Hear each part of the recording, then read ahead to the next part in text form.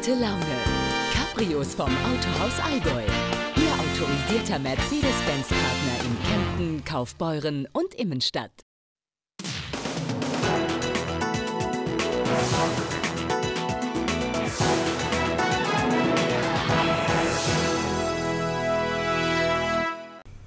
Hallo zu einer halben Stunde TV Allgäu Nachrichten. In Ruderatshofen hat es heute in einer Biogasanlage eine Explosion gegeben. Mindestens drei Personen wurden verletzt. Gleich mehr dazu. Außerdem sehen Sie diese Themen in unserer Mittwochsausgabe. Festbier mal zwei. So schmecken die extra kreierten Biersorten für die Allgäuer Festwoche 2010. Ungewöhnliche Perspektiven, wie ein Panoramabildband das Allgäu mit anderen Augen sieht und gemeinsam stark, wie es klingt, wenn Spieler und Fans sich gemeinsam für die neue Eishockeysaison einsingen.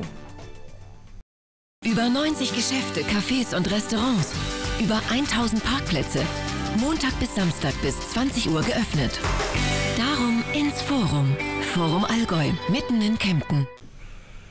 Innovation statt Revolution, so hat Kemptens Oberbürgermeister das Motto der Allgäuer Festwoche bezeichnet. Die beginnt bekanntlich ja am Wochenende. In Sachen Festzelt ist aber Innovation und Revolution gleichzeitig zu spüren.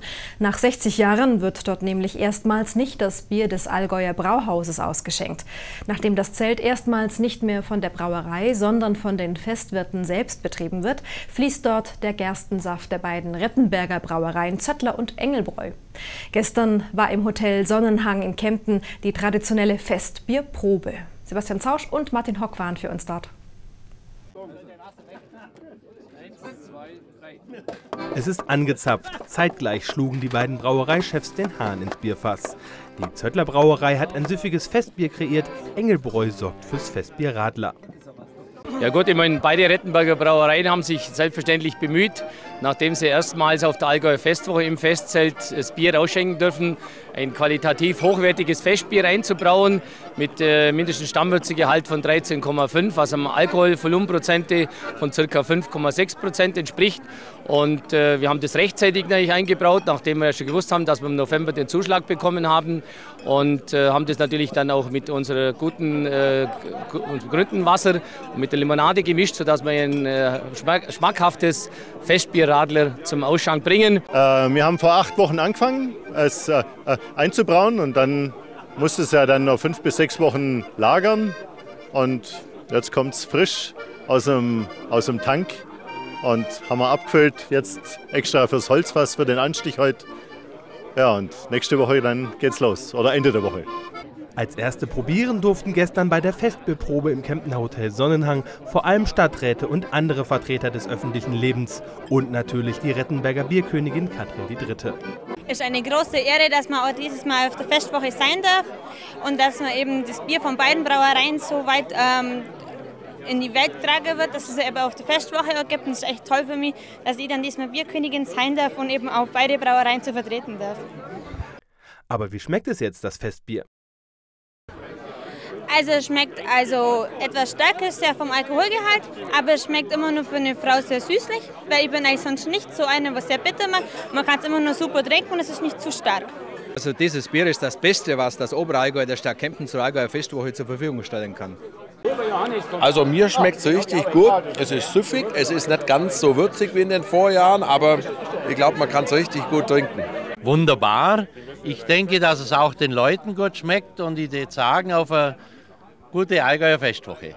Süffig, ich kann es nur empfehlen. Es ist ein Bier, wie ein Festbier gebraut werden soll. Und deswegen freue ich mich schon auf die Allgäuer Festwoche 2010.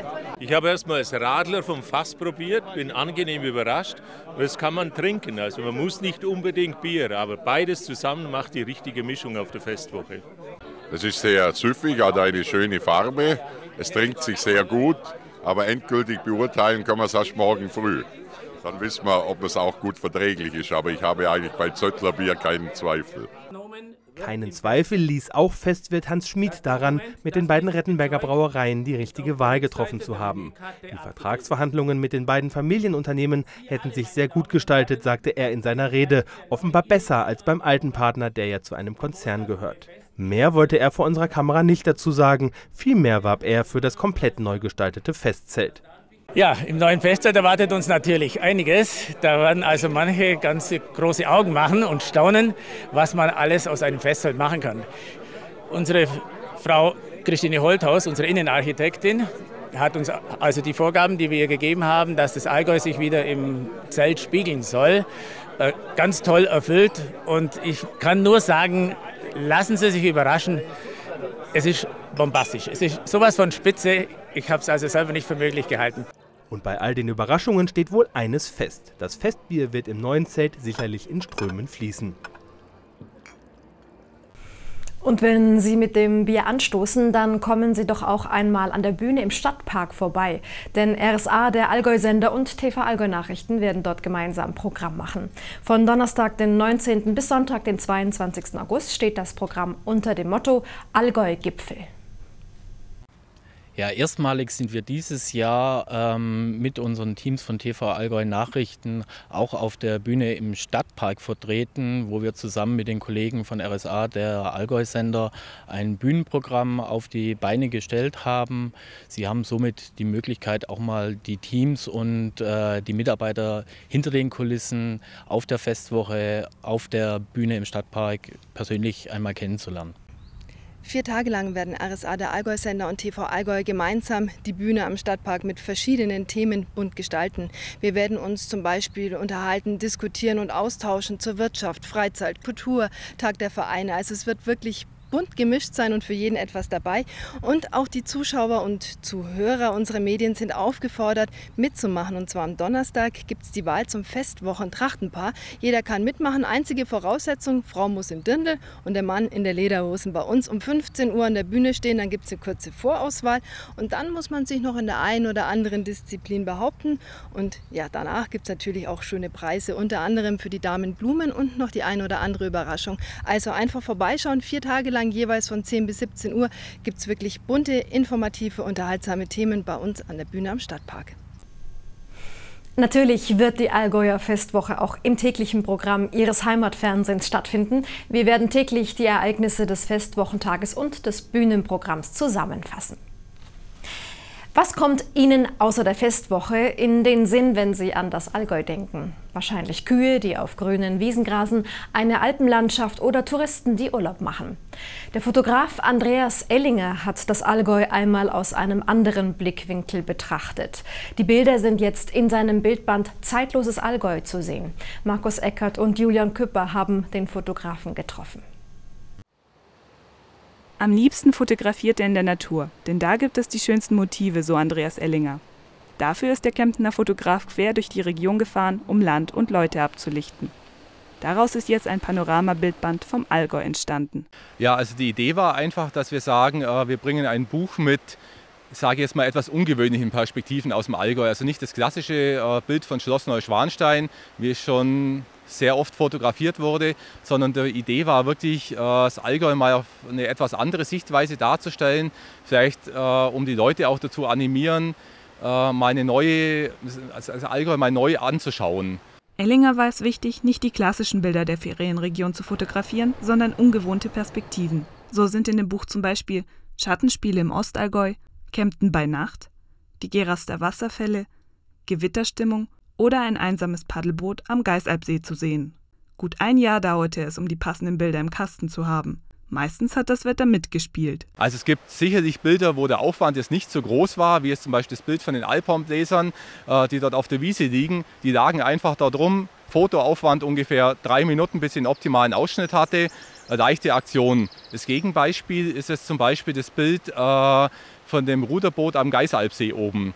Äh, da hatte ich eigentlich die Bildidee, äh, den Geisalpsee zu fotografieren bei Sonnenuntergang und äh, bei ein bisschen so einem Wetter, wo einfach die, Wolke durch die, Sonne, äh, die Sonne durch die Wolken durchbricht. Das erste Mal, als ich hochgelaufen bin zum Geisalpsee, bin ich bis auf zwei Drittel Höhe gekommen und bin dann total klatschnass geworden. Hinter seinem Bildband verbirgt sich aber noch viel mehr. Damit das Buch nicht gleich im Regal verschwindet, hat der 44-jährige Allgäuer eben nicht nur eine Sammlung seiner Fotografien zusammengestellt.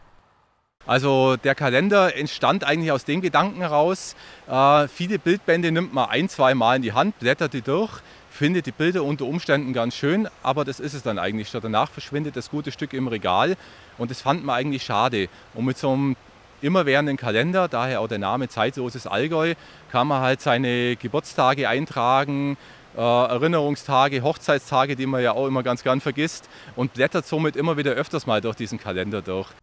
Und es sollen noch weitere Bücher folgen. So arbeitet Andreas Ellinger derzeit an einem Buch, in dem er unbekannte Regionen in den Bergen entdecken möchte. In gut einem Jahr soll auch das dann veröffentlicht werden. Nähere Informationen zu Andreas Ellinger erhalten Sie im Internet unter www.zeitloses-allgäu.de. Und gleich mehr Informationen zu der Explosion heute in der Biogasanlage in Roderatshofen. Die Verpuffung war so groß, dass zwei Arbeiter durch die Luft geschleudert wurden.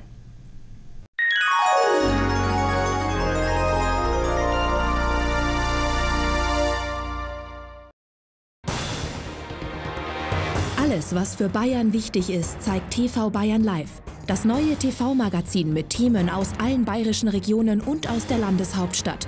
Politik, Kultur, Brauchtum, Wirtschaft, Sport und natürlich viel Prominenz. TV Bayern Live in 60 Minuten aktuell informiert und gut unterhalten. Ihr bayerisches Fernsehprogramm. TV Bayern Live immer sonntags von 17.45 Uhr bis 18.45 Uhr auf RTL. Mitmachen, mitsammeln und mit dem Allgäuer Brauhaus bewegende Preise gewinnen bei der großen Sommeraktion. Einfach Aktionskronenkorken sammeln und super starke Sommerpreise abräumen. Hauptgewinn ist ein Suzuki Jeep. Weitere Infos ab sofort im Getränkehandel und unter allgäuer-brauhaus.de. Allgäuer Brauhaus. Brautradition aus Kempten. BayWa Baustoffe. Ihr kompetenter Partner berät Sie bei Neubau und Modernisierung. Baustoffe und Bauwerkzeuge namhafter Hersteller in Profiqualität. Vom Keller bis zum Dach. Ob Innenausbau oder Gartengestaltung. Alles aus einer Hand. Wir liefern direkt an Ihre Baustelle. Mit Kompetenz und Topqualität immer gut beraten. BayWa Baustoffe. Zehnmal im Allgäu. Radl Stadel Dicken Reishausen. Mehr Auswahl, mehr Leistung, mehr Service. Radl Stadel Dicken Reishausen. A7 Ausfahrt Memmingen. Das Bergerlebnis der anderen Art. Die Erzgruben-Erlebniswelt am Gründen in Burgberg. Tauchen Sie ein in die Welt der Knappen. Für jeden das passende Rad. Radelstadel. Dicken Reishausen. Radl-stadel.de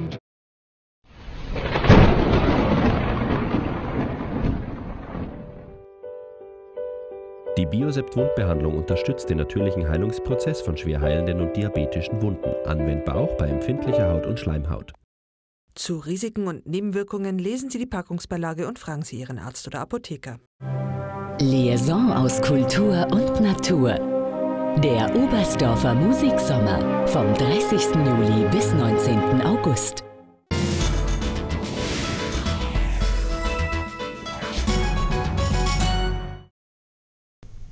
Die Meldungen des Tages. In Roderatshofen ist heute Mittag eine Biogasanlage explodiert. Auf den ersten Blick sieht es harmlos aus, doch die Explosion, die es in der Biogasanlage gegeben hat, muss wohl heftig gewesen sein. Durch die starke Druckwelle sind die Schäden immens. So ist nach der Explosion die Betondecke angehoben worden und teilweise gerissen. Ein Ziegeldach wurde beschädigt und mehrere Firmenfahrzeuge demoliert. Sie wurden zum Teil durch die Druckwelle angehoben im Rahmen von Wartungsarbeiten an einer noch nicht fertiggestellten Biogasanlage außerhalb der Ortschaft Ruderatshofen. Die genaue Örtlichkeit befindet sich zwischen Ruderatshofen und Ebenhofen. Kam es im Rahmen dieser sogenannten Wartungsarbeiten äh, zu einer Verpuffung. Also nach dem Eintreffen der Einsatzkräfte sah die Lage so aus. Wir hatten drei verletzte Personen. Primär mussten wir sofort die Personen erst versorgen anschließend dann gleich den ganzen Bereich absperren, da es eine große explosionsgefährdete Zone war. Und dann galt es natürlich festzustellen, wie hoch ist die Konzentration und wie äh, gehen wir weiter vor. Damit die Konzentration relativ gering gehalten wird, hat die Feuerwehr zur Erstbekämpfung B- und Entlüftungsgeräte eingesetzt. Insgesamt waren 102 Rettungskräfte sowie die Polizei aus Marktoberdorf und Kempten im Einsatz. Ein Rettungshubschrauber musste eine schwer verletzte Person in die Unfallklinik nach Murnau fliegen. Die anderen Verletzten wurden mit einem Rettungswagen in die umliegenden Krankenhäuser gebracht. An den Fahrzeugen entstand ein Sachschaden von rund 50.000 Euro. Über den Schaden an der Biogasanlage gibt es derzeit noch keine Erkenntnisse. Die weiteren Ermittlungen hat jetzt die Kriminalpolizei Kempten übernommen. Ursache für die Massenerkrankungen in einem Jugendzeltlager in Hopfen am See waren Noroviren. Das haben die Laboruntersuchungen des Ostallgäuer Gesundheitsamtes jetzt ergeben. Von der Epidemie waren, wie berichtet, insgesamt 52 Teilnehmer betroffen. Die letzten vier von ihnen sowie eine Betreuerin konnten gestern das Krankenhaus wieder verlassen und nach Hause gefahren werden. Auch die anderen seien auf dem Weg der Besserung, heißt es. Noroviren zählen zu den häufigsten Erregern infektiöser Magen-Darm-Erkrankungen. Schon eine kleine Menge der äußerst resistenten und weltweit verbreiteten Viren reicht für eine Infektion. Der Zeltplatz in Hopfen am See wird jetzt von einer Fachfirma desinfiziert.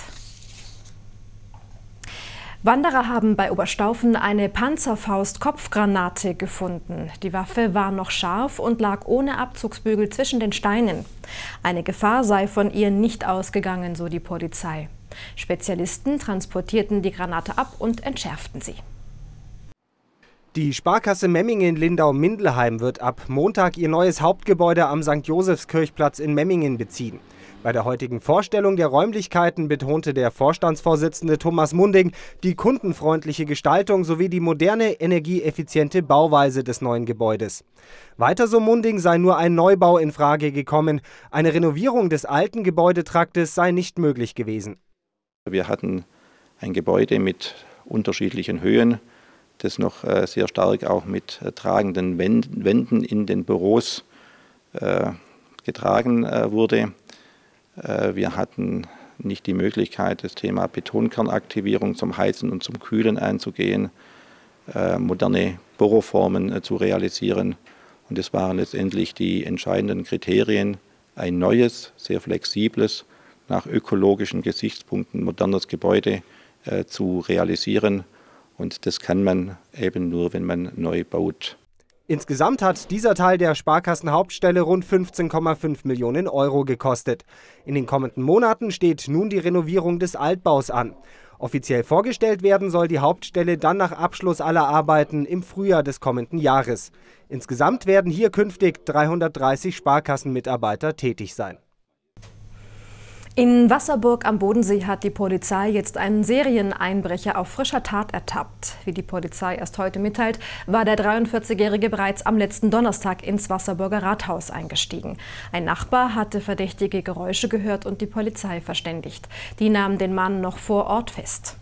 In seiner Vernehmung gestand der Mann dann noch weitere Einbrüche in Österreich, bei denen er insgesamt 14.000 Euro erbeutet hatte. Sichergestellt werden konnten davon bislang nur 7.000 Euro. Vor der morgigen Heimpremiere des FC Memmingen in der Regionalliga weist der Verein nochmal auf die neuen Sicherheitsbestimmungen hin. So sind laut DFB-Richtlinien unter anderem Personenkontrollen vorgeschrieben. Gefährliche Gegenstände wie Regenschirme mit Spitzen, Glasflaschen oder Fahnenstangen über einen Meter Länge sind verboten. Plastikflaschen oder Tetrapacks sind nur bis zu einem halben Liter erlaubt. Für den Punktspielbetrieb äh, wird dieser Gästeblock äh, nur diesen Gästen vorbehalten sein. Auch wenn es nur 10 oder 20 Fans sind, wird eine Tribüne mit knapp 1000 äh, Menschen gesperrt sein. Aber das sind nun mal diese Auflagen, die sehr umstritten sind in der Regionalliga, wo wir uns jetzt auch zwei Jahre verweigert haben. Und es soll ja eine Reform kommen und die ist auch bitte notwendig. Morgen Abend empfängt der FC Memmingen den letztjährigen Regionalligameister aus Nürnberg. Anstoß ist um 19.30 Uhr. Soweit unsere Meldungen vom 11. August und wir werfen jetzt einen Blick auf die Wetteraussichten. Top-Marken zu Fabrikverkaufspreisen im Allgäu Outlet in Sonthofen. Viele Artikel bis zu 70% reduziert. Outlet-Shopping für die ganze Familie und jeden Geldbeutel. In der Nacht zum Donnerstag kommen vereinzelte Regenschauer ins Allgäu. Die Werte liegen bei rund 17 Grad. Am Donnerstagvormittag kühlt es ein wenig ab, es bleibt regnerisch. Der Nachmittag bringt dann erste kräftige Gewitter. Die Temperaturen liegen zwischen 21 Grad im Oberallgäu und bis zu 23 Grad am Bodensee. Auch am Freitag bleibt es vorerst wechselhaft. Lediglich im Unterallgäu ist es trocken. Hin und wieder zeigt sich dennoch einmal die Sonne. Das Wochenende startet mit Regenschauer und sonnigen Abschnitten. Das Quecksilber steigt auf über 20 Grad an. Nass, trüb und keine Sonnenstrahlen. So sind die Aussichten für den Sonntag. Dennoch klettert das Quecksilber auf bis zu 20 Grad. Die Vorbereitung auf die kommende Zweitligasaison geht für den ESVK in die entscheidende Phase. Gestern war das erste Eistraining, bei dem sich der Kader für die neue Spielzeit traditionell dem Publikum präsentiert. Eine Besonderheit gab es diesmal. Team und Fans haben gemeinsam ein Lied eingespielt, das künftig bei Spielen laufen soll. Steffen Konrad und Manfred Fiener waren beim Training und bei den Tonaufnahmen mit dabei.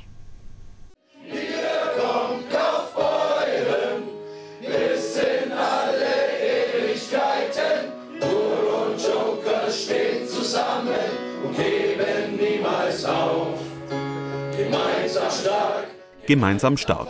So lautet der Titel, den gestern die Spieler und ausgewählte Fans des ESVK gemeinsam gesungen haben. Das Lied soll während den kommenden Joker-Spielen den Zusammenhalt von Team und Zuschauern stärken.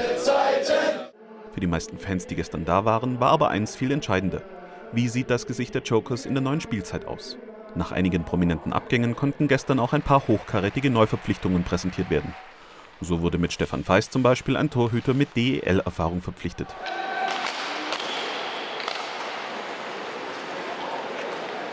Die persönlichen Ziele sehen so aus, dass ich natürlich jedes Spiel gut halten möchte, der Mannschaft weiterhelfen möchte und natürlich, dass wir dadurch dann viele Siege holen.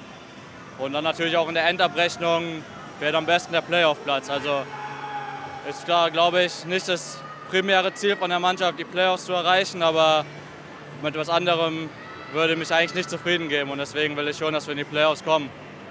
Ein Ziel, das so auch der Trainer der Joker teilt. Unser Ziel ist natürlich wieder in den Playoffs, ganz, ganz klar. Also wir haben letztes Jahr das geschafft und ich denke, das könnte unsere äh, Minimalziele natürlich auch nicht zum Absteigen, Gottes Willen. Wir wollten in der zweiten Bundesliga bleiben. Aber ja, können wir sagen, unser kleines Geheimziel ist wieder Playoffs und uh, schauen wir weiter nachher. Neben dem schon bekannten kanadischen Publikumsliebling Rob McFeeters spielen in der kommenden Saison zwei weitere Landsleute von ihm neu in Kaufbeuren. Die Stürmer Scott Dobbin und Mark Suarez sollen nach Möglichkeit den Abgang von Torjäger Jordan Webb ausgleichen. Trainer Ken Latta hält auf beide große Stücke. Mark Suarez, ich, ich weiß, was er kann. Ähm, ihr erwartet genau, was, ähm, was ihr habt da in Kanada mal gesehen. Er ist schnell, er kann gut schießen, er ist ein Zweiwegspieler. Und von Scotty Dobbin äh, ist ein großer Mittelstürmer, der ist auch schnell, er kann gut äh, passen, er kann gut schießen. Und äh, von denen zwei erwarte ich äh, so Tore, ganz klar. Ich meine, äh, wir haben Jordan Webb verloren, äh, Mann mit 70 Punkten. Und äh, ich möchte nicht sagen, es ist schwer, einen zu, äh, zu versetzen. Aber ersetzen, meine Entschuldigung, ersetzen. Und, aber ich denke, dass die zwei sind mit Sicherheit eine gute Wahl, das zu machen. Mein persönliches Ziel ist natürlich, mein Bestes zu geben. Vielleicht einen Scorerpunkt im Durchschnitt pro Spiel und auch Tore zu schießen. Das Wichtigste aber ist, dass das Team trifft und wir Siege einfahren. Laut Vereinsführung ist nun die Kaderplanung für die neue Spielzeit abgeschlossen. Und mit den Kufenflitzern aus der vergangenen Spielzeit und den Neuverpflichtungen soll die Kaufbeurer Sparkassenarena zu einer echten Festung werden. Auch wenn so manches Schild im Stadion vielleicht anderes behauptet. Am Wochenende findet in Kaufbeuren mit dem Joker Cup ein international besetztes Vorbereitungsturnier statt. Neben dem ESVK wird auch der deutsche Vizemeister, die Augsburger Panther, zu Gast sein. Weitere Gegner sind das Team der Michigan Tech University und die Blackwings aus Linz. Mehr Sport gibt's gleich, da allerdings dann ein Training zu einem Rekordversuch. Bis gleich.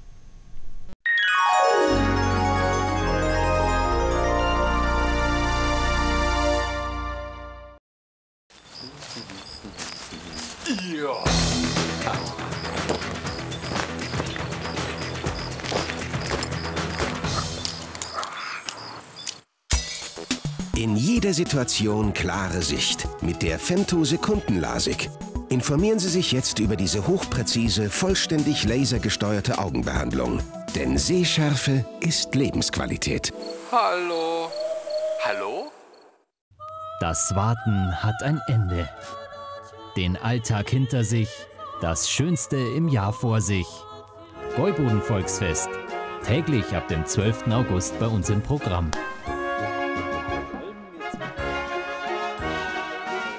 Atrum vom Paradies.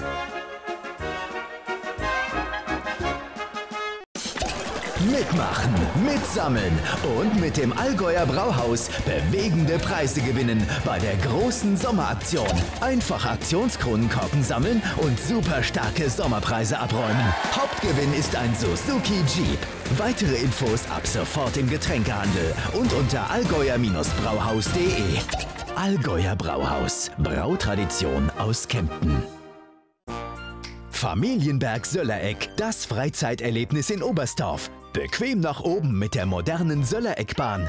Rasante Abfahrten mit dem Söllereck Rodel. Spektakuläre Perspektiven von der Skiflugschanze. Wanderspaß auf dem Naturerlebnisweg. Wir, da haben am Söllereck. Mei, wir haben einen Haufen Spaß. Faszination Farbe. Die Sonderschau des Handwerks auf der Allgäuer Festwoche in Halle 7.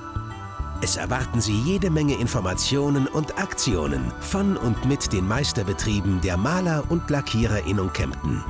Wir bringen Farbe in Ihr Leben. Berghaus Schönblick, der Treffpunkt für aktive Genießer. Grillfest oder Geburtstagsfeier. Wir sind gerüstet. Familienberg Söllereck, das Freizeiterlebnis in Oberstdorf. Er kann Erfolge in verschiedenen Disziplinen vorweisen, egal ob deutscher Meister im Kraft-Dreikampf, deutscher Meister im Bankdrücken oder einige Weltrekorde. Die Rede ist vom Kraftsportler Dietmar Zint. Derzeit bereitet er sich auf einen Radrekord vor. Er will nur durch Muskelkraft im Windschatten von einem Auto mit einem Rennrad die 100 Kilometer pro Stunde Marke brechen. Markus Eckert und Manfred Wiener haben Dietmar Zint mitten in seinen Vorbereitungen getroffen. Es hat zwei Klickpedale, zwei Reifen, einen Lenker und ein umgebautes Kettenritzel. So sieht das fast handelsübliche Rennrad von Dietmar Zint aus. Dietmar Zint ist Kraftsportler und will demnächst im Windschatten von einem Auto nur mit reiner Muskelkraft die 100 km/h-Marke knacken. Anregungen für den außergewöhnlichen Rekordversuch kamen nicht von ihm selbst, sondern von woanders. Also der Versuch bei Galileo war ja folgender. Das war ein Radprofi, der hinter einem LKW im Windschatten 100 km/h auf der Ebene draufgebracht hat. Der Unterschied zu mir ist, ist eben der eben vom Körpergewicht, dann dass das Fahrrad, das Material nur minderwertig ist, 400 Euro hat das ganze Fahrrad kostet. Äh, und eben ich fahre hinterm Auto und nicht hinterm LKW, da ist der Windschatten also viel geringer. Das Problem an der Sache ist, dass man bräuchte eine relativ lange Strecke, um das draufzubringen. Darum hole ich ein bisschen Schwung, bis 80 ungefähr, und dann wird der Rest hochgetappt mit reiner Kraft. Damit er genug Schwung für die gewünschte Geschwindigkeit bekommt, laufen derzeit die Vorbereitungen bei dem 33-Jährigen auf Hochtouren. Da der Sonthofner Kraftsportler ist, trainiert er nur die Maximalkraft. Speziell für diesen Rennradrekord sind es verschiedene Bereiche, die trainiert werden müssen. So stehen beispielsweise Kniebeugen, Beinpresse und Spinning auf dem Trainingsprogramm im Fitnessstudio. Speziell darauf trainiert habe ich im Endeffekt ca. 10 Wochen. Äh, so lange trainiere ich auf eine Weltmeisterschaft. Das heißt, man hat ein bestimmtes Niveau und stimmt das dann auf den speziellen Rekord ab. Länger wie zehn Wochen kann man da gar nicht, sonst ist man ausgebrannt. Ausgepowert dürfte der Allgäuer wohl auch nach dem letzten Training mit dem Rennrad gewesen sein, wo er immerhin schon 93,8 km/h erreicht hat. Aufgrund der Anstrengung wird er die Geschwindigkeit maximal drei bis fünf Sekunden halten können. Der Rekord soll in gut vier bis sechs Wochen auf der ca. 1,5 Kilometer langen Rettenberger Allee in Burgberg stattfinden. Gelingt ihm das, kann er einen weiteren Rekord verbuchen. Zahlreiche Rekorde konnte er allerdings schon in der Vergangenheit fleißig sammeln. Also ich habe eigentlich die Konzentration immer auf den Sport gelegt, auf den reinen Wettkampfsport und das war zweifacher Weltmeister, zweifacher Weltcupsieger, Weltrekorde im Bankdrücken, im Steinheben und so weiter. Also alles, was mit Kraft eigentlich zu tun hat, habe ich Rekorde gebrochen und diese Kraft, diese funktionelle Kraft, also was ja eigentlich ein Kraftsportler auszeichnet, im Unterschied zum Bodybuilder, wo es nur um die Optik geht, äh, möchte ich eben jetzt mit dieser Kraft irgendwelche Rekorde brechen oder irgendwie Darbietungen äh, anstellen. Wenn man seine jetzigen Rekorde begutachtet, dürfte man davon ausgehen, dass bei dem muskelbepackten Mann noch weitere außergewöhnliche Rekordversuche kommen werden. Nähere Informationen zu Dietmar Zint gibt es im Internet unter www.dietmar-zint.de. Und noch der Blick auf die Sendung morgen. Die Allgäu Walsercard, die Vorteilskarte für Touristen, zieht Bilanz. Allein seit Anfang des Jahres wurde die Karte fünf Millionen Mal benutzt. Außerdem im Programm heute Abend ermittelt die königlich privilegierte Feuerschützengesellschaft Kempten per Ausschießen den Festwochenkönig, den Sie dann morgen bei uns kennenlernen. Und ich sage jetzt noch einen schönen Abend für Sie und hoffentlich bis morgen. Rund um die Uhr Strom. Zukunftsstrom. Feierstrom. Das alles ist Allgäu Strom. Allgäu Strom. Die heimatstarke